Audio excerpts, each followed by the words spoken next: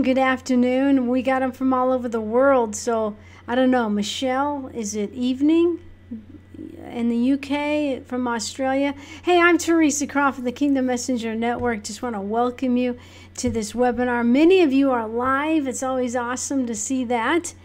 And many of you are watching this recorded. So 6 a.m. morning on Friday. Bless you for getting up at 6. I'm getting the feedback of where uh, people are. They're all over the world, but it's at different times. 9 p.m. in England. Awesome. Well, let's pray and we'll get right into the shift and share some great uh, ideas for you for today. Well, Father God, I just thank you. What an honor it is, Lord, to, to come into your presence, to do this uh, recorded and live, uh, simulcasting on radio. Uh, two different videos, a, a, a webinar, Lord, I just I just thank you because I have no doubt that technology was on your mind as you told us to go to, into all of the world and preach the good news, to speak your word. So, Father, I thank you. I pray that all the technology will work and we'll have no more audio problems. And Lord, I just thank you that it is such an honor to proclaim your name, to release a word, Lord, that I know is from you. And it's not about me, it's about you, God, showing up and making yourself strong. Maybe someone today watching this live or recorded needs to be encouraged that you, God, have not forgotten them. That many are the afflictions of the righteous, but the Lord delivers them out of them all. Maybe someone in this room that needs comfort, reminding them that the Lord is near to the brokenhearted and saves those who are crushed in spirit. Maybe, Father, just someone needs to realize they need to turn back to you I thank you that if we confess our sins, you are faithful and just to forgive us our sins and to cleanse us from all unrighteousness. So, Lord, we pray to have your way. Lord, let the words that come out of my mouth be the words that you have revealed to me to be able to put your messengers into that shift of provision, of uh, harvest, of being able to go forward like you, Father, have set them apart. You've called them princesses and princes, assigned to royalty, ambassadors of you, God, not paupers of fear in a fear controlled world. Thank you, Father, we bless you and we praise you in Jesus' name. Well, welcome. Uh, just really delighted that you could join us, whether that's live or recorded. I'm Theresa Croft. I'm co founder of the Kingdom Messenger Network. Uh, just really delighted to share with you some about the shift, uh, maybe giving you some trending tools online so that you can speak, that you can share your message, and then just providing some services, some help for you. Um, I have been in professional golf I've gone from a professional golfer to working at uh, and working in TV, working at a Christian radio station. I see Susan Cook, who we worked at the same radio station. Actually, I think she still does. Uh, I've spent 23 years plus in media, uh, from radio to video to online marketing. Just really passionate to see people be able to use tools to spread their message. And uh, the bottom line here is it's not about us, Kingdom Messenger Network. It's uh, really about you. And that's where I'm so passionate to speak. I call myself a life speaker because I want to speak life into people. I want to have something good to say. And the passion and on my heart has been working my vineyard. That's just a term God gave me two years ago. In fact, uh, the, the idea of this, of being able to connect with people, be able to have a website where it draws people. And uh, it was funny because I was really struggling with that about two years ago. You know, is this where you want me, God? You know, I was trying to work with businesses, which I still do, and just trying to find myself where do I belong? And God spoke to me about the media mountain. And then he spoke a real cool word to me because I really love vineyards. And he said one day, he says, Yeah, what you're doing online with your media can be your vineyard, Theresa. Go at it.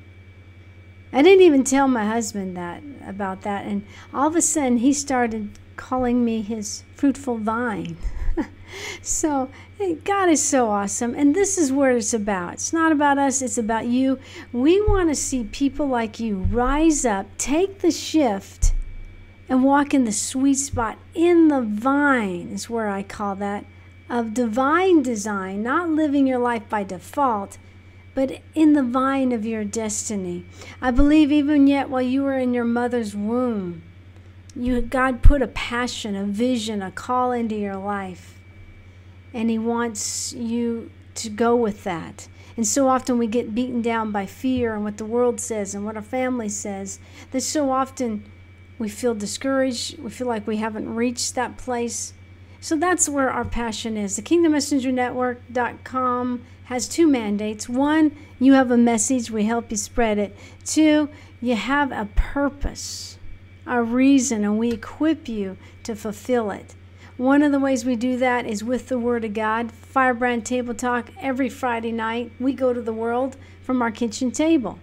I mean, I really say the world because we got Michelle in Australia, Nora in the UK, find out all over the world. So we have two kids, so you know, we go to the world we just don't get on a plane.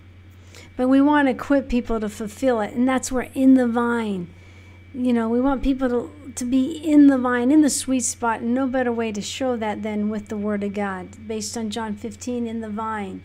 Uh, this webinar, I want to encourage you that it's not just about methods. You know, I we could talk about take this whole hour and talk about kind of if you were here early and saw that interview, talk about all these great tools. And and that they are good they are amazing. But we're not just about methods we're about kingdom principles. Because i believe as you align some great tools technically technology and align them with a business or a biblical principle which is most good business is a biblical that we can be something of aiding you on. And like I said, not just about methods, but about speaking life into you. See, I believe you have a message, and you may be Joe the plumber to Susie the salesperson. You have a message. Your message, some of you, your message might be wrapped up in your product, your service, your kingdom business, your ministry, your vision, your calling you have a message. The amazing thing, whether you're a salesperson, a plumber, or you've got that product or service, the most amazing thing is in your DNA, what the experiences you've gone through, there are people who need your message. You're going to be able to speak to them.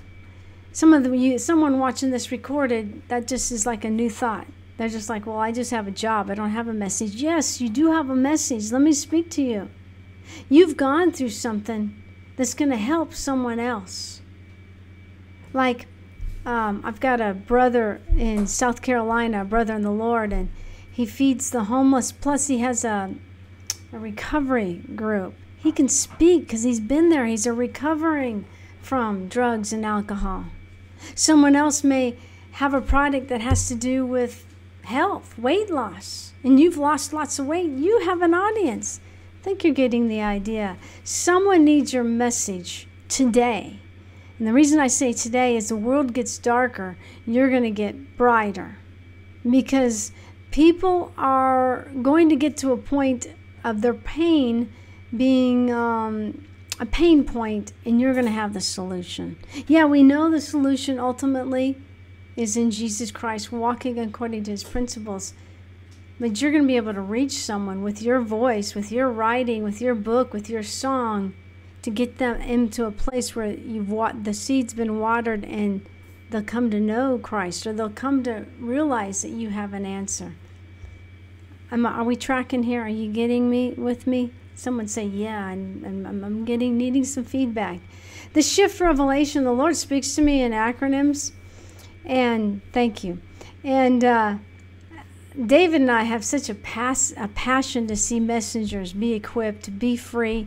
Uh, we want you to be walking in health and wealth. Wealth, not just being money, but health, uh, freedom, restoration in your families. Uh, Dave has a real passion to see people grow in the Lord, an incredible discipleship every day, whether on the phone or Skype. we God brought us together almost 20 years ago. We'll be married 17 years, and we when we came together, God gave us the three M's, and that is our mission is to minister to the messengers. And this is just one way. Very passionate about that. And God, in the last three years, has really propelled us forward. But I say all that to say, uh, I've been asking God to give me wisdom and just really asking, you know, saying, God, show me more about the kingdom of God. And, you know, it says in the word to ask for wisdom, and, you know, He's going to give it. Instead of trying to get it from somewhere else, I was like at this point where, like, Lord, I want to hear what you have to say. So, this word shift actually has been, uh, God gave this to me almost three months ago. It's been about two and a half months. And He told me not to release it right away. And, you know, being obedient, I didn't. It was just marinating in my heart. You know what I'm saying? And, you know, whatever message someone has, it's usually out of their life experiences. And I tell you what, this uh, shift, S H I F T, has uh, gone to, I mean, God has really worked some things in me. So, one reason I'm really glad still to have this is because you got to keep me in track. So I might get excited and I'll try to talk s- slow. So if I'm talking too fast, Harriet or Michelle, just say, slow down, Theresa. Because, see, I'm passionate about this word because I believe this word is for you. Because I believe you're in a position where you know there's more and you're ready for a shift. Let's go through shift, the keys to that shift. S starts with stay clinging. We're going to get to the methods. Someone's here saying, wait, I want to learn the latest on uh, the internet. We'll get to them. Just bear with me, okay? Someone may be watching this recorded. If I have to divide it up into two 30 minutes, I will. Bear with me, though. I want to get you to the shift. So when we talk about spreading your message, God will release something inside of you. Shift, S H I F T, S Stay clinging to the vine, the vine being Jesus. So basic. Out of John 15, he says, I am the vine, uh, or my father is the vine dresser.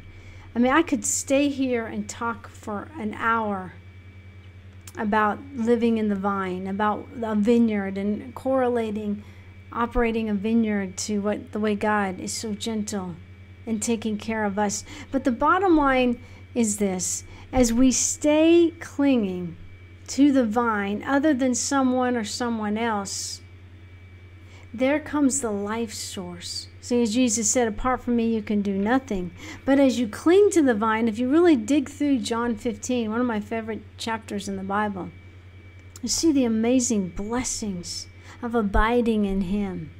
Yeah, there will be times of being pruned and a heart, but that's so you can bear more fruit. So, this is the starting point of the shift. And it has to start with Jesus and that intimate relationship with you with him. You know, I've learned a lot from my 15-year-old daughter and my son for that matter. And I've been walking with the Lord for many years. And in the last 5 6 months, I've learned this intimacy with the Lord that I actually am learning from my kids. And that's how to enter his presence with praise and worship. Praise, as Dave says, breaks the bar asunder, worship destroys the strongholds. As I've wanted to get free of the strongholds in my life, fear and anxiety and even some health issues, I've learned to enter in a new place in clinging to the vine. Once again, you can be a messenger, assigned to royalty, not a pauper locked in a prison of fear. Start at that S, stay clinging to the vine. H, See, I love it. How the Lord just kind of, oops, sorry, let me go back. H is just, God just kind of keeps bringing this message into me. It's health to harvest. Um, just to get real personal on the health side, I, I used to be um, uh, uh, chubby little girl. So I know what it's like of having a health issue that has to do with losing weight. So I understand health. I don't know why that's going back and forth, but let me try to share here. Health to harvest. Keeps wanting to go forward. Um, I'm trying to give you a little testimony, so uh, on the recording, I'll just kind of flip that out, but I don't know why it's going back and forth. It doesn't want you to hear about the health to harvest, so we would just keep going. Um, I guess what I'm trying to say about the health, um, I know what it's like to have to lose weight. I um, uh, I struggled with my weight as a young person, and actually helped me to um, grow closer in my relationship with God. Now, recently, in the last uh, how many months? Six months, I've had some other health issues that had to do with my thyroid. So, my health on the shift is you've got to get a place of health to be able to handle the harvest. And, you know, in the process of trying to find some things uh, to help, let me see if I can pause this because that's really, ha- I'm having troubles tracking with it. Um, David, you know, has been praying for me, but uh, in the process of praying and looking, he we kind of found something, and we were really attracted to it because of, of, the of the health issue of my thyroid. I have an inactive thyroid, and um, I guess what I say is, there's a harvest, and it's got your name on it, but we got to make sure we have healthy messengers for some of us, we have to lose weight. For some of us, we have to take care, better care of ourselves. Like, excuse me, I'm going to drink some water. As my, as my missionary family comes in. It's the Martins entering the house. Okay, sorry. Evangelist Nellie and uh, I call them Nellie and Jelly. Anyway, the Martin family is here. Praise God. So, are you tracking with me still? There's a harvest, and we have to be healthy messengers to walk in that harvest. So, one solution, and, and I've mentioned it to Michelle, um, I can't wait to get on the full effect, and I will talk more about it because all of a sudden, when you have a problem, all of a sudden you become very passionate about finding a solution. And uh, kingdommessengerhealth.com is an, like an info video but we'll talk more, maybe in another webinar about that because I can't wait as I drink my water and uh, do what I'm supposed to do and have a good testimony for you. My mom was here last week and Theresa, drink your water. That's my imitation of my mom. And she got really concerned though because I've, I've just had to shift with my um, my age. I turned 50 uh, just uh, last month, and I want to be young and able to uh, enjoy my children. Did you see that on Facebook? I, I did a picture of uh, Joyce Meyer throwing a frisbee, and she turned 70. Wow, that is just like whoa. That's I, you know I don't want to miss that. I want to be I want to be vibrant. I want to take care of myself. That's the H. The other H is, has to do with harvest, and the harvest is what you're going to look for. And sometimes you see have to see it with spiritual eyes. You understand? I mean, sometimes the the harvest is so great, but all you see is nothing. Or you may like my husband has a garden and he works hard out there. And he's had to deal with torrential rain and rabbits. So he's had to work a little more to stop with the rain. He's had to uh, figure out ways to get the rabbits to stop eating his beans. They've already eaten half of it. Why am I sharing all that about my husband's garden? Because you have a harvest and you've opened the gates. It may just be unforgiveness, it may be a blatant sin, and you've let some bunnies into your garden and they're eating your harvest. So you got to close the gates to sin to walking according to your way instead of God's way. As you close the gates, as you do your work and till your garden, I really believe that there's going to be this shift has to do with the time of a transfer of wealth where God's just waiting. He's looking for his messengers. He says, okay, they can handle it now. Because when I'm talking about harvest, I'm talking about the kingdom of God. As you know, the kingdom of God, its design and frequencies and dimensions are not of this world. So when I'm talking harvest, I am talking about amount of great amount of money for the gospel, for your message. I'm not talking about a small amount. I'm not talking even, no, no spirit of poverty. What God has called you to do, He'll more than enable you to walk there. It may be a dry and lean time. In that dry and lean time, let God purify you. Let God get the bunnies out of your garden. Let Him shore up some walls. So when the torrential rain comes, you'll be like the wise man in Luke 6, verse 48. What did he do? He obeyed the Lord and he had a sure foundation. Hey, mom. Mom just joined us from Seattle. God bless you, mama. So he had that sure foundation. So when the torrential rain came, his house didn't get washed away. I think that's what the H is. Get your vessel, the temple. You are the temple of the living God. The same spirit that raised Christ from the dead is alive in you. So that means for me, I say, hey, thyroid, you got to line up. If I'm going to give a little help, we'll give you a little help harvest. It's part of the shift.